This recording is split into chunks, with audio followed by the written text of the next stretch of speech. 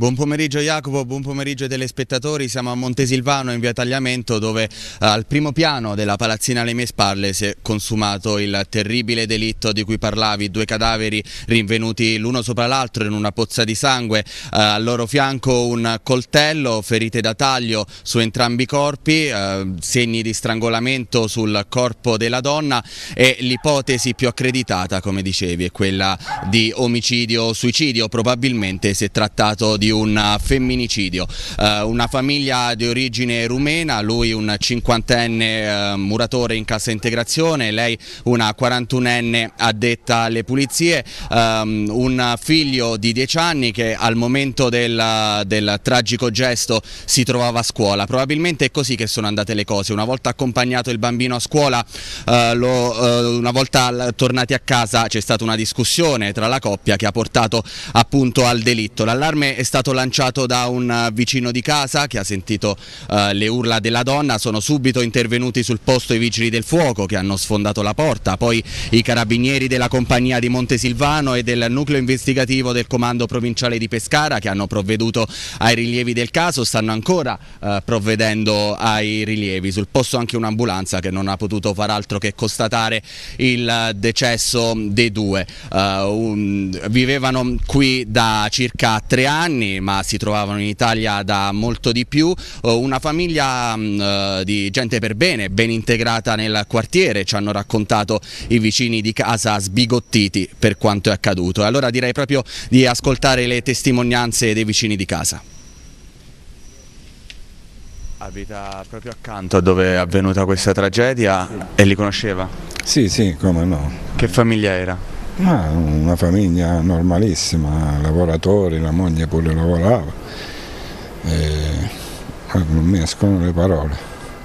Non era successo mai nulla che avrebbe potuto far pensare un esito del genere? Eh, all'interno della famiglia uno eh, non lo sa, però ha, ha visto fra di noi, con noi, sembra stata una bravissima persona, rispettosa, tutto il vicinato qua gli voleva bene, tutti. Lei questa mattina ha sentito qualcosa? Ma no, io sono rientrato adesso perché faccio il camionista, sono stato fuori, sto rientrando adesso, ma ha chiamato mia moglie e mi ha detto oh, guarda là così così è successo, una cosa non me l'aspettavo.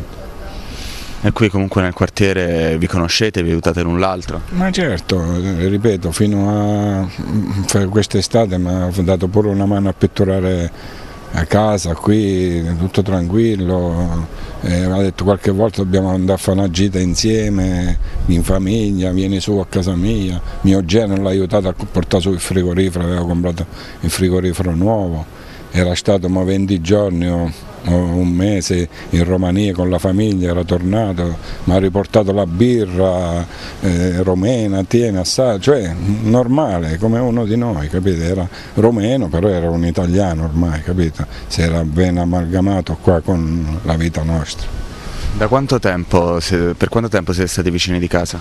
Eh, da quando è venuto qua, sarà 4-5 anni che ha comprato l'appartamento, è venuto qua e prima non lo conoscevo, però si è sempre appena arrivato, si è presentato, ci siamo conosciuti, la famiglia qua la conosco tutti, io sto qua dal 2000, eh, quindi eh, niente, non lo so. Perché poi qui vi conoscete nel quartiere e vi aiutate l'un l'altro? Ma questa strada siamo tutte noi. Questa strada, io ci abito ormai da vent'anni, è una strada super tranquilla. E alla fine circoliamo noi e quelli che pass, transitano con le macchine. E diciamo che ci facciamo la vicinanza tra di noi, eh?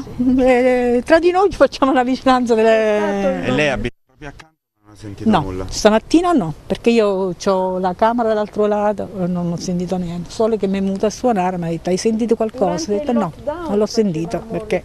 L'ha saputo dai carabinieri? No, l'ho saputo dal mio vicino che mi ha suonato prima che lui ha detto ho chiamato i carabinieri, io l'ho rimproverato e dico ma anche se hanno fatto discussione una, una coppia, perché hai chiamato i carabinieri? Ha detto ma io ho sentito dei, dei, dei gridi forti, ma ha detto proprio... Eh no, Nicola.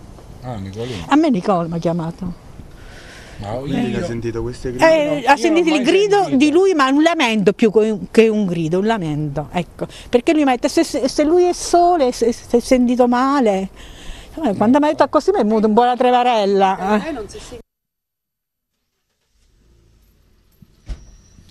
Abbiamo ascoltato le parole dei vicini di casa, il tutto è accaduto questa mattina tra le otto e mezza e le nove e eh, quando il eh, bambino per fortuna di 10 anni si trovava non in casa ma a scuola è stato poi affidato ai servizi sociali in quanto in Italia non ci sarebbero parenti della, della coppia uh, e uh, in questo momento stanno uh, procedendo, stanno concludendo i rilievi del caso i carabinieri e sul PM è intervenuta oltre al medico legale anche la PM Fabiana Rapino. Prossimi aggiornamenti se non ci sono domande nell'edizione delle 19. Linea allo no, studio. No, solo una curiosità Giuseppe perché pare che la, insomma, la pista omicidio-suicidio sia stata quella eh, immediatamente indicata e che sembra avere ma maggiori riscontri, vero? È, è, è vero tutto questo? Sì, assolutamente, anche perché non, eh, pare che non ci sia alcun segno di, infrazione in casa. I due sono stati eh, ritrovati l'uno sull'altro con un coltello vicino, ci sarebbero anche segni di strangolamento sul corpo della donna, quindi eh, non solo omicidio-suicidio, ma eh, finora le dinamiche, eh, quanto trapelato finora, lascia pensare che addirittura si è trattato di un femminicidio.